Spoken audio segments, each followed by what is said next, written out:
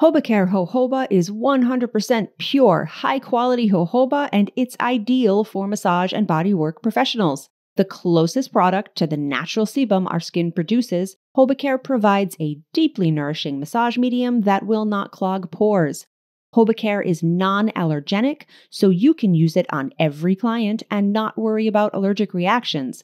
Hobacare is shelf stable and it will not stain your natural fiber sheets making it an excellent choice for professional use and saving you money. Hint, you won't have to replace your linen so often. With Hobacare Jojoba, you can offer your clients a superior experience that benefits both skin health and overall well being. Our listeners can receive 20% off their order with code ABMP. Learn more at hobacare.com. That's H O B A C A R E.com.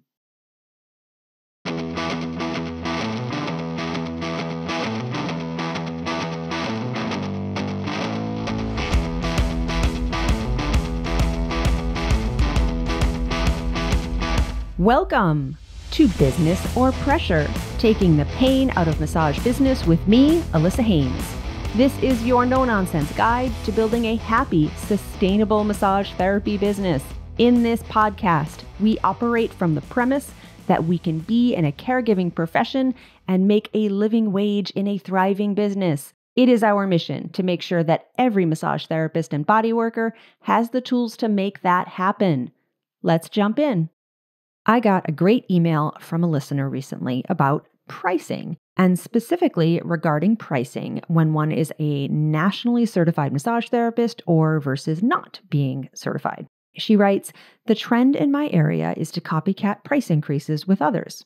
Massage therapists are now more expensive by about 20 to 40% higher than local acupuncturists. I live in a state where licensing requirements are only 500 hours, approximately 350 classroom and 150 hands on hours of training, and 12 hours of CE every two years. And I thought this was a really interesting discussion because I had never had someone ask so clearly, like, should prices be different if one is certified? Or should I compare with what other types of practitioners are charging? This was a really great, clear question. I'd love to say that I have fantastic answers here, but pricing is so arbitrary and it's also just a moving target. So let's jump back a little bit and think about how do consumers choose a massage therapist? What makes someone choose you? Often the primary consideration is your location. Are you easy to get to from wherever they live or work or spend time? Next is referral. If someone is referred to you by someone they trust, they are much more likely to seek you out and go to you and just you. Then there's the presentation, the presence of the massage therapist, either in person, if you're meeting someone in person at some kind of event or whatever, or your presence online in your website or your social media or wherever someone lands first when they are searching for a massage therapist. Oftentimes, price is at the very bottom of that list.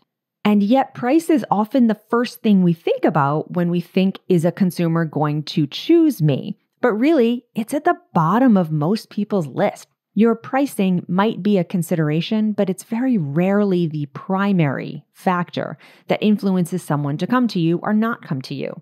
Often it's just ease. If they can find you easily and schedule easily, if you have a fairly trustworthy looking website, they're going to choose you. And moreover, if price is the biggest and only consideration, are they the best client for you? Do you want to be spending time and effort on them? So let's look at other ways to consider your pricing. And much of that does involve looking at the marketplace around you for some loose numbers and loose numbers. I am not saying that you should base your prices on what everyone else around you is doing, but some awareness of the marketplace is really, really thoughtful. And you want to look at different kinds of businesses. You want to look at the massage franchises. You want to look at other indie businesses like you, little small one, two person shops. You want to look at spas and clinical and medical places.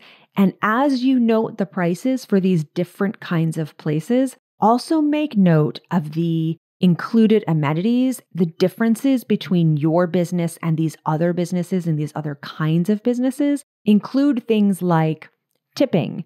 If your prices are inclusive of tipping, they should be reflective of that, and that becomes something you can market off of. What do you offer that these bigger places don't? And vice versa.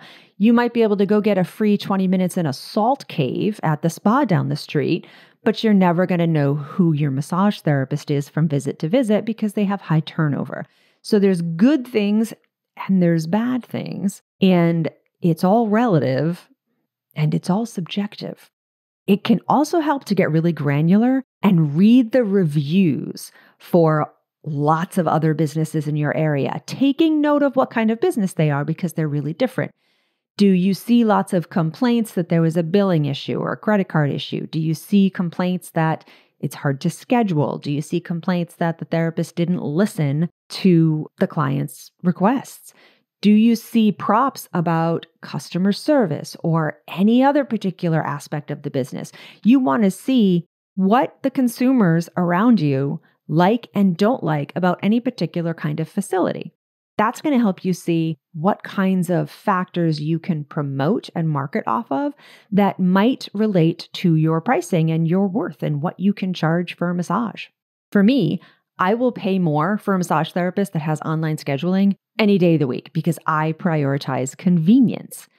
And we're going to talk in the next episode about making your business really easy to use. But for me, I have no problem paying 10 bucks more for a massage if I can schedule it when I'm thinking about it at 11 o'clock at night versus having to wait till the next day, make myself a note, remember to call, wait for a call back to schedule an appointment with a therapist. Like 98% of the time, I simply won't do that. I will choose another therapist or any kind of appointment that has online scheduling. That's a priority for me. It doesn't mean it's a priority for everybody. There are places in which having a parking spot for clients, like easy parking, is worth way more than a $20 savings because they're going to have to pay $15 to park in order to come get a massage. To have a parking space could be something that impacts your pricing. So do a little legwork and look at some different places around you, what kinds of things they offer, what are the good factors and what are the bad factors based on consumer reviews. You can also consider what you do that is different massage wise.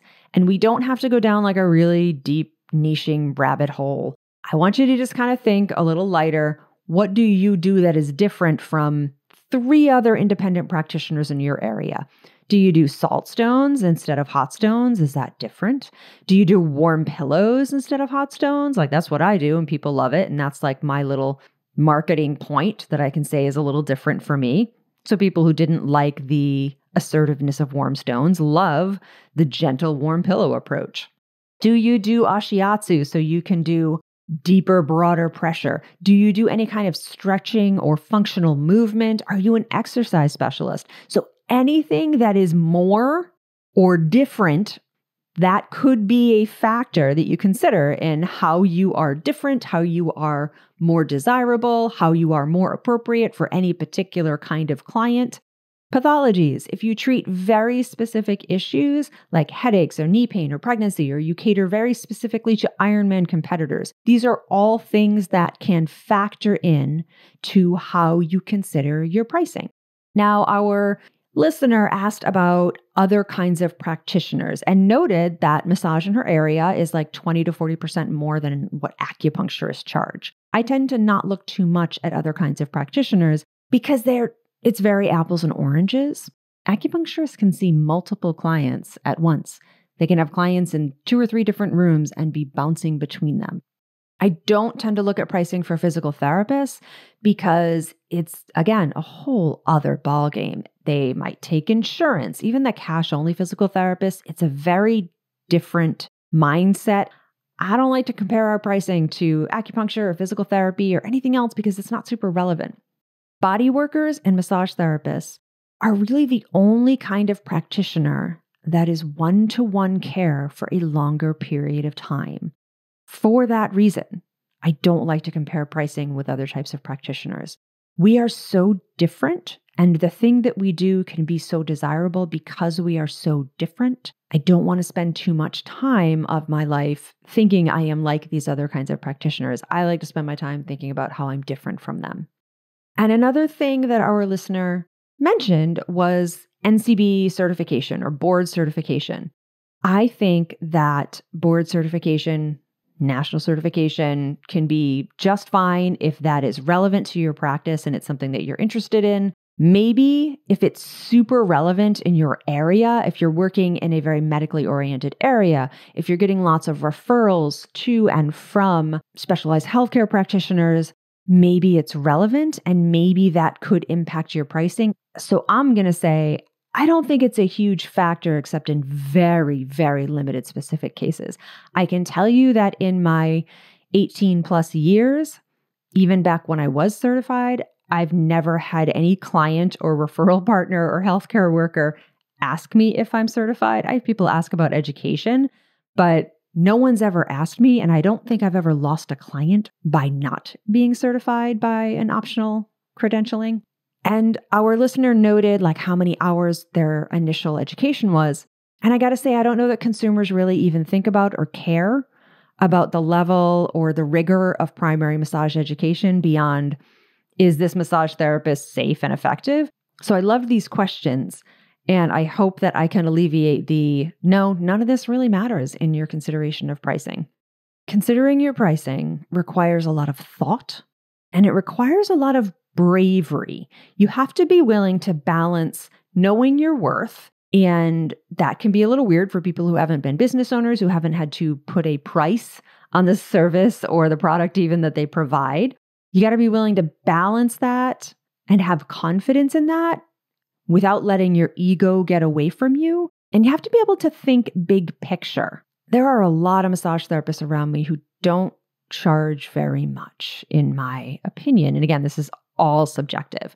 And I asked one of them recently, like, why are you still charging $70 an hour? And she said, because it's really important to me that massage be affordable for people. I think this is wonderful. And I don't think it's a wrong decision. What I do tend to remind people when they say that, if their price is much lower than what's going on in the area or lower than what I think they are worth after having experienced their work and their business as a whole, I suggest that we remember that if accessibility to massage is important to you, that doesn't mean you have to charge everyone a very low price. Sometimes that means that higher paying clients can support lower ones. And maybe that means a sliding scale fee. Maybe that means some kind of pay it forward or scholarship fund. There's a lot of ways that you can run a business. There's a lot of accommodations you can make for certain clients to keep massage accessible. So, if that's something that's really important to you, as you think about pricing, also think about longevity and think about pricing that will sustain you and your practice because you can't serve anybody if you can't feed yourself. And you cannot serve your people if you have to quit your massage practice to go work somewhere else because you're not making enough money. So let's note here that I have not told you really how to price your services in this podcast episode about how to price your services because I can't tell you how to price your services. I can only tell you things to consider. You can look at your marketplace. You can look at what you offer that other people don't, and vice versa. And you can consider how you feel about what you're paying yourself at the end of every week or month. I want to hear your stories on pricing. So if you have thoughts about this, if you think I'm super wrong or you think I'm super right, or you just want to give me some other thing to consider, please, please, please email me business or pressure at abmp.com because I think that this is a subject ripe for more episodes and more conversations. All right, we're at our high five. Every episode, I like to give a high five to someone who I think is great or something I think is helpful. And today, my high five is going to my friend Michelle, who defines herself as the world's okayest massage therapist. I know Michelle from some online communities.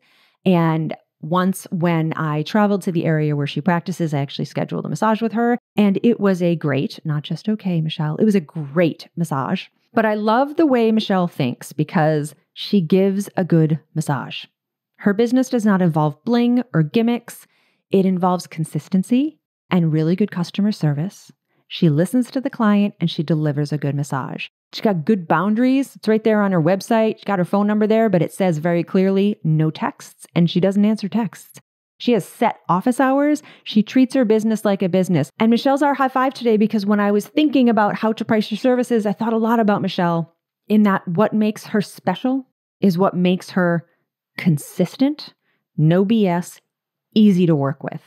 So, high five, Michelle. I take a lot of inspiration from how you run your business. And I think you are a good reminder of how an okayest massage therapist can actually be a really great massage therapist because you're providing exactly what consumers need. If you have a question about running your business or an idea for an episode, reach out via email at businessorpressure at abmp.com.